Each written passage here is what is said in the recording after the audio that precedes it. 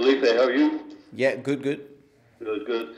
Felipe was saying like it's some nights it's Friday, some nights it's it's Saturday, some it's Sunday, now it's Monday. What what's what's it like having that kind of disruption to your training patterns? And um, well, the patterns is not is it's not that it's disrupted that much because we work backwards from the day we we have the game and, and we try to keep it as normal as possible. Definitely, it's a bit strange or, or different. I don't know if strange, but different. We we haven't been used on playing on a on a Monday night, but um, it is what it is, you know. And and and we are professionals, and we have to adapt. Uh, to that, obviously, it, it, gets a bit, especially for, for people who has family and so on. Uh, um, it disturbs a bit, or, or the you get away of, of something more normality of, of weekends and so on but um,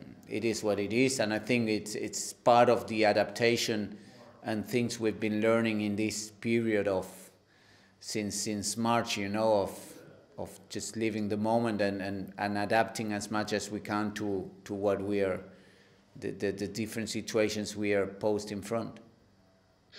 Yeah, indeed. I mean, if you look at what happened with the Barbarians, uh, the women's French team, even the Irish soccer team in, in, in relation to COVID. Um, whose role is it in Leinster to make sure that, that everybody, you know, is, is, is, is applying or is as, as vigilant as they can be around things?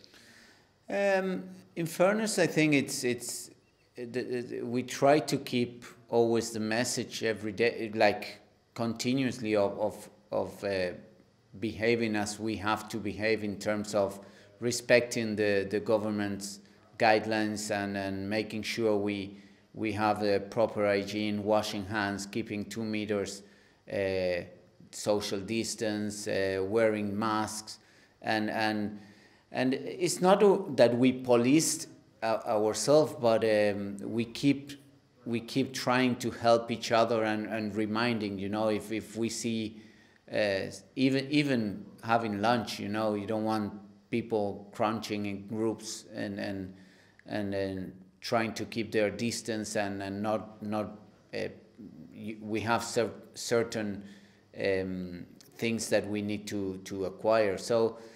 Um, and in fairness for the boys, they've been really good, you know, in keeping their their bubbles uh, uh, as, as their social bubbles as, as small as possible. Um, and, and I think they know what is in stake. We all want to play. We all want to be. I think we are fortunate on, on, on being able to to play rugby and, and being able to, to get out on every weekend and, and, and play. So um, you don't want to be the one that jeopardizes that situation, you know. So uh, I think everyone has that in mind, and and they've been very good, very very good. So yeah, it's the way we we keep doing doing it. So, is it a privilege being considered uh, elite? Um, I don't know if a privilege or a responsibility because it's it's more a responsibility and that's the way we take it. You know, it's it's a, it's it's our responsibility to make sure that we we keep um, we, we don't jeopardize the opportunity for for us to play, but also for supporters to enjoy um, the, the, the game and, and seeing Leinster playing uh, for the league to keep going and, and, and you know and, and, and it's part of, of, um, of the way it is. And, and, and I think yeah you said privilege or, or I think we are privileged in, in being able to do what we love to do but but it's a huge responsibility and, and that's the way we need to take it as a, as a responsibility you know you're using this time to, to blend um, experienced players with, with new captain and and and new players like the likes of Toner Bent, Fardy playing with like uh, Hawkshaw, Sheehan. Um, is is that a policy or is, is it a way of, of bringing new players in?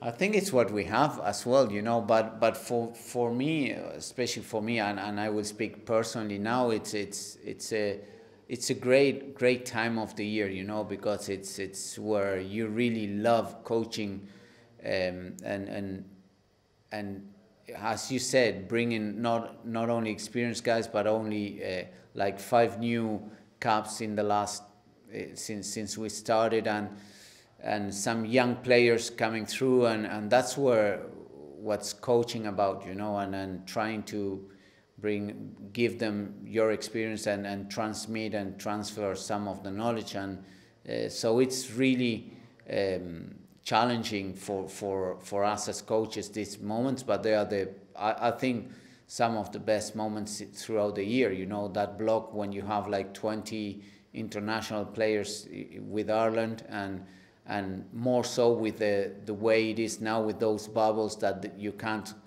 cross over many players and, and so on. So uh, it's great. It's not that we design it like that. It's, it's the way it is and, and, and we we gone on with it and, and, and I think it's great opportunity for many of the players and and in fairness the environment creates that competition that when some even young players playing their first games uh, when they when you're given when they are given that opportunity they want to take it you know and and what we try to do is to prepare them or, or set them the best we they can and the best we can to help them succeed and and that's what we we try to do you know. So there's there's an unknown in every game for you so there must be a certain amount of anticipation around these games well, sorry, I, I didn't get it. There's there, with new players, there's an unknown to you as yeah. a coach, and, and there must be a certain amount of anxiety or anticipation around that.